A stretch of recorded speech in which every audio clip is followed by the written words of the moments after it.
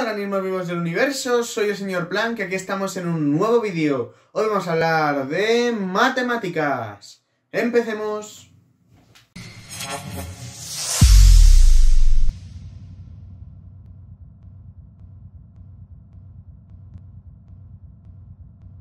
Y bien, ya había acabado la serie de vídeos de sucesiones realmente, pero voy a hacer un pequeño apunte más, ¿vale? Pero que también es aplicable a matemática discreta y por eso también lo voy a subir a este otro vídeo. Y también va a ser aplicable a funciones, ¿vale? Y va a ser un vídeo muy sencillito este. Y es la definición matemática de recursión, ¿vale? Simplemente decimos que una sucesión o que una función, ¿vale? Está definida por recursión si nosotros... Em, a un elemento genérico lo expresamos en función de uno o de varios elementos anteriores, ¿vale? Pero para eso va a haber que definir el primer elemento y a veces el segundo y el tercero también, ¿vale? Voy a poneros, por ejemplo, eh, la sucesión de Fibonacci. La sucesión de Fibonacci es una sucesión en la que cada término es una sucesión infinita, una sucesión del tipo a sub n definida entre 1 y infinito, ¿vale? En la que cada término es la suma de los dos anteriores. ¿Vale? Pero como el primer término es el elemento a sub 1, ¿sí? Este no se puede expresar de esta forma, ¿vale? Y como no solo toma el, el inmediatamente anterior, sino, porque el a sub 1 no tiene inmediatamente anterior, ¿vale? Sino que también toma el anterior del anterior, también habrá que definir a sub 2. Entonces, según la sucesión de Fibonacci, se establece que el primer elemento es el 1 y que el segundo también lo es. Y a partir de aquí se va construyendo el resto de elementos, ¿vale? De esta manera, el elemento A sub 3 sería el elemento A sub 2, el inmediatamente anterior, más el anterior del anterior, A sub 1. Y esto sería 1 más 1, que serían 2. Y el elemento 4 sería el 3 más el 2, que sería 2 más 1, 3 el 5 sería 3 más 2, 5. Y así sucesivamente. Así se define una sucesión por recursión. ¿De acuerdo? Veamos otro ejemplo muy importante de eh, sucesión definida por recurrencia o por recursión, ¿vale? Que es eh, la sucesión que toma como primer elemento el 1 y que tiene como término general, expresado por recursión, es decir, a partir de sus elementos anteriores, raíz cuadrada de 2 eh, por, por el anterior, ¿vale? Raíz cuadrada de 2 por el anterior. Entonces, esta sería una sucesión de la forma raíz cuadrada de 2 por raíz cuadrada de 2 por raíz cuadrada de 2, ta, ta, ta, ta, ta, ta, n veces, ¿vale? Entonces, por ejemplo, el elemento 2 sería raíz cuadrada de 2 por el primero, o sea, raíz de 2. Y a partir de aquí, el elemento 3 sería raíz cuadrada de 2 por el anterior, raíz de 2. El elemento 4 sería raíz de 2 por raíz de 2 por raíz de 2. Y así sucesivamente, ¿de acuerdo? Y ahora fijaos, esta sucesión es una sucesión convergente. ¿Cómo sé yo que es una sucesión convergente? Aquí os dejo un vídeo de un criterio de convergencia que enseñé. Por una, sencilla razón, y es que es una sucesión monótona creciente acotada superiormente. ¿Vale? Eso quiere decir que no para de crecer y que el valor de la sucesión alcanza un valor máximo. Entonces, si no para de crecer en el infinito, va a alcanzar ese valor máximo, ¿vale? Tiene supremo. Podría yo demostrar esto matemáticamente, ¿vale? Pero eso ya os lo dejo para un ejercicio, ¿no? Pero yo me doy cuenta de una cosa, es monótona creciente. ¿Cómo sé yo eso? O miro esto, el elemento 1 vale 1, esto es raíz de 2, que es 1,4, mayor todavía, esto mayor todavía, esto mayor todavía, lo voy mirando, ¿vale? Os recomiendo con estas sucesiones hacer estos cálculos eh, un poquito con calculadora para ir viendo cómo cambian las cosas, ¿vale? O si no podéis usar calculadora es mentalmente un poquito, esto es una... Bueno, la historia es esta. Fijaos una cosa. Yo aquí tengo la raíz cuadrada de 2 por un número, ¿vale? Y este número es mayor que 1 siempre. Luego, si yo multiplico un número mayor que 1 por 2, esto me va a dar un número mayor que 2. Y este número mayor que 2, yo le aplico una raíz cuadrada. Pues me va a dar mayor que la raíz de 2, ¿vale? Y como me va a dar mayor que la raíz de 2, ¿sí? Significa que eh, para todo n esta eh, a sub n es mayor que a sub n menos 1, ¿vale? Con lo cual es monótona creciente. Y ahora, ¿qué más tengo que demostrar? Pues que está acotada superiormente.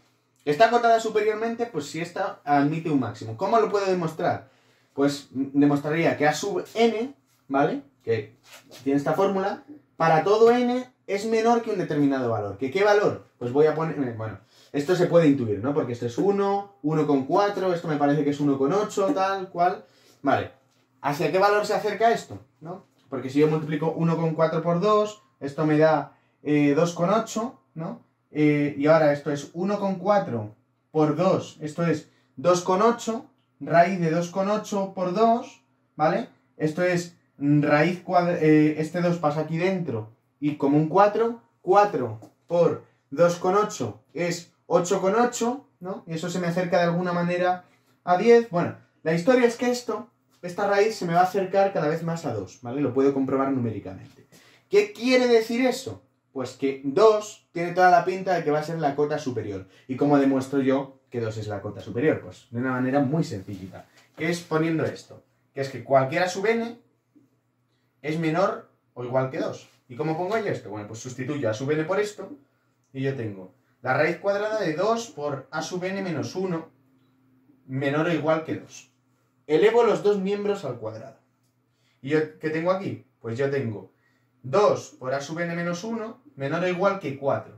Paso este 2 dividiendo, a sub n menos 1 menor o igual que 2. Y ahora, a sub n menos 1, ¿sí? Sabemos por definición que es, ¿qué? Es menor que a sub n, porque es monótona creciente. Y como es monótona creciente, a sub n también va a ser menor o igual que 2 si a sub n menos 1. Con lo cual, hemos demostrado, ¿vale? Hemos demostrado que está acotada superiormente por 2. Y entonces podríamos decir que el límite de esto vale 2, ¿vale? Que esta sucesión converge hacia 2. ¿Sí? Pero si queremos calcularnos el límite, nos daremos cuenta de una cosa, ¿vale? Uno de los teoremas fundamentales de los límites es que una sucesión o una función no puede tender hacia dos límites distintos en un número, ¿vale? Entonces, veamos qué, es lo que ocurre aquí. Vale, calculemos el límite de la sucesión a sub n cuando n tiende a infinito. Esto nos va a dar un número n, ¿vale? Pues yo ahora sí sustituyo a sub n por el término general, está expresado por recursión, ¿sí? ¿De qué me doy cuenta? Bueno, pues de que aquí tengo otro término más que podría sustituir, ¿no? Pero yo puedo eh, operar este límite de la siguiente manera. Yo tengo el límite de una raíz. Esto es la raíz del límite. Cuando n tiende infinito. De 2 por a sub n menos 1. ¿Vale? Y ahora, este 2 sale fuera del límite. Y yo tengo aquí la raíz cuadrada. ¿Vale? No sé si esto se tapa un poquito, ¿vale? Pero aquí ya no. De dos veces el límite de a sub n menos 1. ¿Y de qué me doy cuenta? Pues el límite de un término anterior de una sucesión, como se va al infinito, va a ser lo mismo que el límite de cualquier término, ¿vale? Si yo cojo un término de la sucesión, en el infinito, el elemento anterior va a ser igual que el elemento posterior, porque estoy en el infinito, ¿no? Con lo cual, los límites coinciden. Y si este límite valía L, este límite también va a valer L en el infinito. Con lo cual, aquí me queda esta ecuación. L, que es este límite, será igual que la raíz cuadrada de 2L. Si yo ahora quiero calcular cuánto vale el límite, simplemente despejo, elevando los dos miembros al cuadrado, y esto me queda 2L. Vale, entonces despejando me queda L cuadrado menos 2L vale 0. ¿Vale? Y eh, saco L factor común, y me queda L menos 2 igual a 0. Pero fijaos qué pasa aquí. Aquí yo tengo dos límites. Que L vale 0, ¿vale? Y que L vale 2. Y ahora, solo uno de estos dos límites valdrá, porque una función no puede tender a dos límites distintos. Y sabemos que tiene límite porque es una sucesión convergente, y lo hemos demostrado.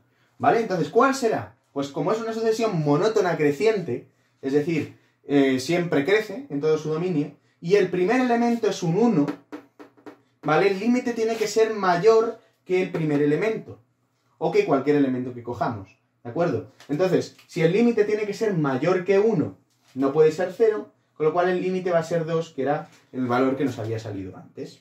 Y eso es todo por hoy. Dadle a like, suscribíos y compartid este vídeo por vuestras redes sociales como los átomos comparten electrones para combinarse entre sí. ¡Nos vemos!